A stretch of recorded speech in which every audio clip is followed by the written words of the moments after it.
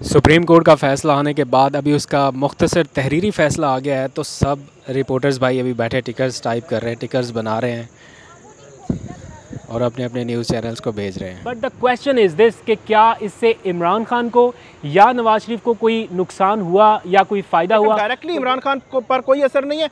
लेकिन मेरा ख्याल है डायरेक्टली किसी हद तक आप कह सकते हैं कि जो नवाज़ शरीफ हैं उनकी सियासत पे शायद असर पड़ सकता है क्योंकि पनामा के हवाले से जजमेंट थी तो बहुत से लोगों का था कि जी उस पर अब अपील फ़ाइल होगी तो वो फ़ाइल नहीं हो सकती।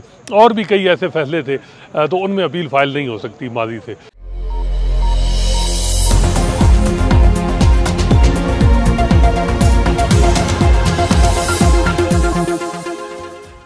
बिसमीम अल्लाम पाकिस्तान और दुनिया भर में देखने और सुनने वालों को अब्दुल कादिर का सलाम। इस वक्त रात के तकरीबन साढ़े सात बजे का वक्त है, शाम के साढ़े सात बजे और सुप्रीम कोर्ट ऑफ़ पाकिस्तान में मौजूद हूँ। काफ़ी लंबी प्रोसीडिंग रही आज की भी और पाँच समातों के बाद बिलाखिर फ़ैसला आ गया और अब से supreme court practice and procedure act का बाकायदा नफाज हो चुका है। इस फैसले के दौरान कुछ तकनीकी मामला हैं तीन तरह के फैसले आए हैं थोड़ी सी कन्फ्यूज़न है तो आपकी कन्फ्यूज़न भी एक तो दूर करनी है। प्लस आप में से बहुत सारे लोग ये भी जानना चाहते होंगे कि इस फैसले का इमरान खान या नवाज़ शरीफ की सियासत पर क्या फ़र्क पड़ा। या उनको आने वाले वक्त में कोई फ़ायदा या नुकसान हो सकता है या नहीं हो सकता तो इस हवाले से जो सुप्रीम कोर्ट को कवर करने वाले सीनियर रिपोर्टर्स हैं, उनसे मैंने आपके सवाल पूछ रखे हैं। कुछ ही देर में मैं आपके सामने रखूँगा। मेरे दाएँ बाएँ पी की टीम है, काफ़ी मेहनत की है इन लोगों ने और खुश भी लग रहे हैं कि लंबी लंबी प्रोसीडिंग के बाद फाइनली अब वाइंड अप करने का मौका मिला और ये जाएँगे यहाँ से घर। लेकिन hats off to all the team member की इन्होंने बड़ा ज़बरदस्त काम किया और आप तक बरह रास्त कवरेज पहुँचाई। आज चीफ जस्टिस ने भी फैसला सुनाने से पहले इन सब का शुक्रिया अदा किया। तो coming back to the point कि फ़ैसला आया क्या है? आपको पता है, जब जस्टिस बंदयाल चीफ जस्टिस थे तो उन्होंने इस प्रैक्टिस एंड प्रोसीजर एक्ट को मअतल कर दिया था और जब मअतल किया था तो आठ रुकनी बेंच था, जिसमें से चीफ जस्टिस साहब रिटायर हो गए। तो सात रुकनी बेंच ने तो उस वक्त मअतल किया था, यानी उनका एक माइंड सबके सामने आ गया था कि वो क्या फ़ैसला दे सकते हैं। लेकिन आज जब फैसला आया तो ये फैसला दस पाँच की अक्सरियत से आया। यानी बंदयाल साहब के साथ उस वक्त जो जजेस थे, उन्होंने भी एक तरह से साइड बदली या अपना माइंड बदला और उन्होंने इस प्रैक्टिस एंड प्रोसीजर एक्ट को एक तरह से तस्लीम कर लिया, मान लिया। लेकिन इसमें तीन तरह के फैसले आए हैं। मैं क्विकली आपकी कन्फ्यूज़न दूर करते हुए बता देता हूँ। पहला, पहली जो चीज़ थी, वो ये थी कि आप बेंचेस की तश्कील कैसे होगी और सो मोटो नोटिस जो है, वो किस तरह से लिया जा सकता है। तो इसके हक में जो 10 जजेज़ हैं टोटल 15 थे 15 में से 10 जजेज़ जो हैं, वो इस बनाए हुए एक्ट या कानून के हक में है जो पीडीएम बना के गई है, आखिरी दिनों में। तो 10 जजेज़ ने उसके हक में फ़ैसला सुनाया, पाँच जजेज़ ने उससे इख्तलाफ किया। वो कौन से जजेज हैं? मैं डिटेल में नहीं जाता क्योंकि फिर लंबा हो जाएगा व्लॉग। आपको पता है कि कौन से जजेज जो थे, वो बार बार इसके मुखालफत में जा रहे थे। फिर दूसरी चीज़ थी कि क्या अपील का हक दिया जा सकता है या नहीं? तो अपील का हक देने से मुतालिक भी जजेस की जो अक्सरियत थी, यानी नौ जजेस ने अपील का हक देने की हिमायत की और छः जजेस ने अपील का हक देने की मुखालफत की। इस तरह जजेस की अक्सरियत की वजह से अपील का हक देने को भी तस्लीम कर लिया गया। लेकिन जो तीसरी चीज़ थी, वो उसमें जजेस थोड़े डिफरेंट नज़र आए, यानी वो था कि क्या माजी से अपील का हक दिया जा सकता है या नहीं। यानी नवाज़ शरीफ साहब अगर पानामा केस में अपील करना चाहें तो क्या वो कर सकते हैं या नहीं कर सकते तो उसमें जो जजेस की अक्सरियत थी, वो इस हक में नहीं थी और वो फैसला सात आठ से आया, यानी सात जजेस इस हक में थे, लेकिन आठ जजेस ने मुखालफत की, अक्सरियत जजेस ने मुखालफत की और इस तरह से माजी से अपीलों का हक नहीं दिया जा सकता। ये तो चीज़ बड़ी क्लियर हो गई। तो अब यूँ कहा जा सकता है कि जस्टिस बंदयाल का जो फ़ैसला था जिसमें वो हुक्म इम्तना दे गए थे मअतल कर गए थे, वो फ़ैसला वापस हो गया है। ये कानून अपनी असल शक्ल में जिस तरह था, वो बहाल कर दिया गया। सिर्फ़ एक शिक जो है, वो उससे जजेस ने इतफाक़ नहीं किया कि माजी से अपीलों का हक दिया जाए, वरना तो फिर ये भुट्टो की फांसी से लेकर अब तक मामला शुरू हो जाता। But the question is this कि क्या इससे इमरान खान को या नवाज़ शरीफ को कोई नुकसान हुआ या कोई फ़ायदा हुआ तो वो उसमें बहुत सारी चीज़ें हैं, जैसे कि नवाज़ शरीफ अपील का हक ले सकते थे, लेकिन उन्हें नहीं मिला। बट उससे उनको कोई फ़र्क इसलिए नहीं पड़ेगा क्योंकि उनकी नाहली ऑलरेडी एक कानून के तहत ख़त्म कर दी गई है, जिसमें नाहली की मुद्दत जो है वो पाँच साल कर दी गई। तो वो अब पाँच साल अपने मुकम्मल कर चुके, उस कानून को किसी भी सियासी जमात ने चैलेंज नहीं किया, ना पी टी आई ने, ना जमात इस्लामी ने, ना किसी और जमात ने। पी टी आई ने इसलिए भी नहीं किया क्योंकि उनके उनके अपने लीडर भी इस वक्त मुश्किल में हैं, नाहली से लड़ रहे हैं। तो क्या अगर इमरान खान को भी तायात नाहली का सामना करना पड़े तो फिर क्या होगा? इसलिए पी टी आई ने उसको चैलेंज नहीं किया। तो इसलिए ये सारी चीज़ भी अब बड़ी क्लियर है। अब मेन पॉइंट ये आता है कि सुप्रीम कोर्ट में तो बेंचेस जो हैं वो तीन जजेस बनाएँगे या आ, सो मोटो नोटिस लेने का इख्तियार तीन जजेस के पास है लेकिन सुप्रीम कोर्ट की बिल्डिंग के ज़रा सा पास इस्लामाबाद हाई कोर्ट है। वहाँ पर बेंच बनाने का इख्तियार सिर्फ़ चीफ जस्टिस के पास है और उसकी वजह से पीटीआई जो है ख़ास तौर पे वो समझ रही है कि हम निशाना बन रहे हैं और हमें कोई इंसाफ नहीं मिल रहा और वो चाहते भी हैं कि चीफ जस्टिस की बजाय बाकी जजेस उनके केसेस के फैसले करें। आज दो मुख्तलिफ़ जजेस ने केस का आ, केस की समात की उनको जेल में सहूलियात देने से मुतालिक तो उसमें उनके बड़े ज़बरदस्त रिमार्क्स थे। तो उन्होंने जिस तरह से बताया कि जेल में वाकई सहूलियात नहीं दी जा रही। हम खुद गए थे वहाँ पर विज़िट करने। जेल का जो हस्पताल है, वो तो खुद बीमारियों का गढ़ है। तो एक तरह से इमरान खान के हक़ में दलाइल आ रहे थे और शायद आप देखेंगे एक आध दिन में इमरान खान के हक़ में जेल सहूलियात के हवाले से कोई फैसला भी आ जाए। इसलिए पी टी आई ये समझती है कि इसी तरह के फैसले का इतलाक़ फिर इस्लामाबाद हाई कोर्ट में भी होना चाहिए। तो ये तो थी आज की ओवरऑल सूरत बाकी और बहुत सारी डिटेल्स हैं, वो भी मैंने आपको बतानी है, लेकिन क्विकली मैं ज़रा जो सुप्रीम कोर्ट को कवर करने वाले सीनियर रिपोर्टर्स हैं, उनसे मैंने यही सवाल पूछे हैं कि ज़रा आपको तकनीकी एतबार से भी बताएँ कि इस केस में हुआ क्या है फैसला क्या है? तकनीकी एतबार से किसको फ़ायदा है, किसको नुकसान है? ओवरऑल लोगों का ये कहना है कि ना इमरान खान को नुकसान है, ना नवाज़ शरीफ को कोई फ़ायदा हुआ। ये केस उनके लिए नहीं था, बल्कि ये सुप्रीम कोर्ट के जो जज की एक पावर थी, सुप्रीम कोर्ट के चीफ जस्टिस की जो पावर थी, उसको एक तरह से कम किया गया है और उसको तकसीम कर दिया गया है। तो इसका किसी तरह से नुकसान नहीं है। हाँ अलबत्त ये ज़रूर है कि मुस्तबिल में जब एक और चीफ जस्टिस साहब आएँगे जस्टिस एजाजुल हसन। तो उन्हें जब अपने साथी जजेस से मुशावरत करना होगी तो वो शायद उनके लाइक माइंडेड नहीं होंगे।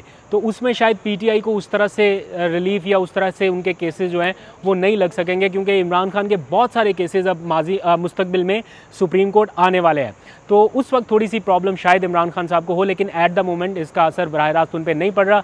बाकी अब आप जो सीनियर रिपोर्टर्स हैं, उनकी राय सुनिए, मुझे दीजिए इजाज़त, अपना बहुत सा ख्याल रखिए। देखिए डायरेक्टली तो सच आप कहें, ना इमरान खान और नवाज़ शरीफ को इस फैसले से कोई उसका फेट उसके साथ लिंकअप थी।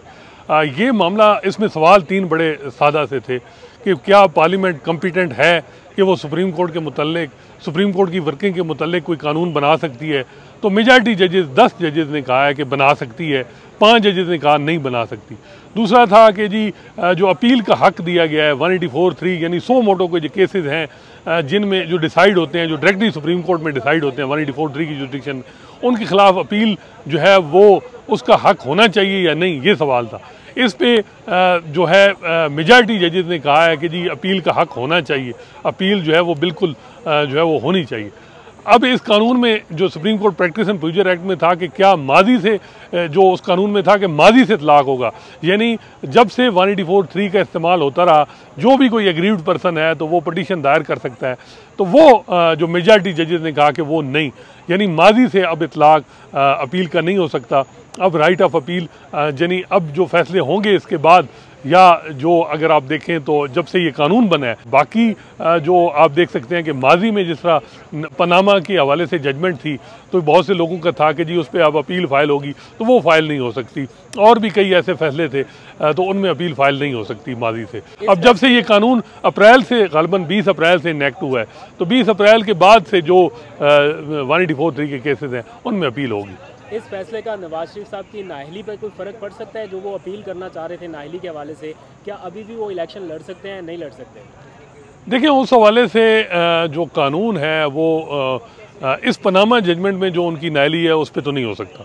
लेकिन जो कानून पार्लियामेंट में बनाया गया कि जी बासठ वन एफ़ में नाहली पाँच साल होगी, उस कानून को किसी ने चैलेंज नहीं किया। इवन पीटीआई ने भी नहीं चैलेंज की तो वो कानून मौजूद है नामिनेशन पेपर के जब जमा होंगे तो वो ये कहा जाएगा कि जी, पाँच साल नैली है। गो के बहुत से वकला कहते हैं कि जी जजमेंट में है कि नायली ताहियात है तो एक जजमेंट को आप सिंपल लेजिलेशन से कैसे उसके इफ़ेक्ट ख़त्म कर सकते हैं? लेकिन ये मैटर ऑफ़ इंटरप्रटेशन है। जब कोई चैलेंज होगा वो कानून तो तब होगा। आ, मेरा ख्याल है कि उस कानून के मुताबिक जहांगीर तरीन और नवाज़ शरीफ आ, वो आ, अभी तक तो लड़ सकते हैं इलेक्शन जब तक उस कानून को स्ट्राइक डाउन नहीं होता और उस कानून को किसी ने चैलेंज भी नहीं किया जो अभी रिसेंटली जो पार्लियामेंट है उसने अप्रूव किया आखिरी क्वेश्चन क्या इस फैसले का इतलाक किसी तरह से हाई कोर्ट पे भी हो सकता है या हाई कोर्ट को भी इसी तरह के रूल्स एंड प्रोसीजर के तहत आगे बढ़ना होगा कि वो भी तीन जजेस की मुशावरत से बेंच बनाए। देखें ये अब डिबेट तो शुरू हो गई है और ये डिबेट अब जो है वो हाई कोर्ट में भी हो रही है कि क्या वहाँ भी इसी तरह कलेक्टिव विजडम से कमेटी फैसला करे बेंचेज की कंपोजिशन और ख़ासकर पीटीआई को तो बड़ी शिकायतें हैं इस्लामाबाद हाई कोर्ट के हवाले से। तो मेरा ख्याल है कि एक तो बात इंटरनली हाई कोर्ट में जजेस में डिबेट होगी। दूसरा अभी प्रोविंशियल असम्बलीज है नहीं वो आ, आ, या प्रोविंशियल असम्बली तो खैर नहीं ये तो सुप्रीम पार्लियामेंट दोबारा कानून इस पर अमेंड कर सकती है। आ, जो है वो हाई कोर्ट के हवाले से इसको एक्सटेंड कर सकती है इस कानून को कि इसका इतलाक जो है वो हाई कोर्ट पे भी होगा वो पार्लियामेंट कर सकती है। लेकिन आ, मेरा ख्याल है कि हाई कोर्ट के अंदर से है वो अब डिबेट शुरू हो गई है और ये अब चंद या तो जजेस खुद ही इसको रेगुलेट कर लेंगे। अदरवाइज़ जो है, ये अब कानून जब भी जो पार्लियामेंट आ जाएगी नेशनल असम्बली में तो उसके बाद ये इसको एक्सटेंड कर दिया जाएगा। बिल्कुल अगर आसान लफ्ज़ों में हम बयान करें तो एक तो supreme court practice and procedure जो एक्ट है, वो तकरीबन उसका 70 टू 80 परसेंट हिस्सा जो है, उसको आज से वो अमल दरामद शुरू हो गया है। और ये अमल दरामद रुका था 11 अप्रैल को, सुप्रीम कोर्ट के आठ मेंबर बेंच ने स्टे ऑर्डर जारी किया था और आज ग्यारह अक्टूबर को ये स्टे ऑर्डर जो है ख़त्म हुआ है, बहाल हो गया है। एक पॉइंट जो है सिर्फ़ इस हद तक के वन एटी जो आज खुद नोटिस के ख़िलाफ़ जो अपीलों के इतलाक़ जो माजी पर था वो वो जो है वो कलदम करार दिया गया है। वो आठ सात आठ अक्सरती जजेज़ ने जो supreme court practice and procedure act की ये जो शिक थी कि माजी से भी लोग जो है वो अपीलें दायर कर सकेंगे तो उसका इतलाक़ जो है ख़त्म हुआ है। तो उसमें डेफिनेटली मेरा ख्याल है, जो पनामा केस है, सबसे बड़ा इफ़ेक्ट उस पर आएगा। और ये तो ज़ाहिर की जा रही थी कि वो अपीलें दायर होंगी और चीफ जस्टिस बेंच बनाएँगे, सुनेंगे और उनको जो है वो रिलीफ देंगे।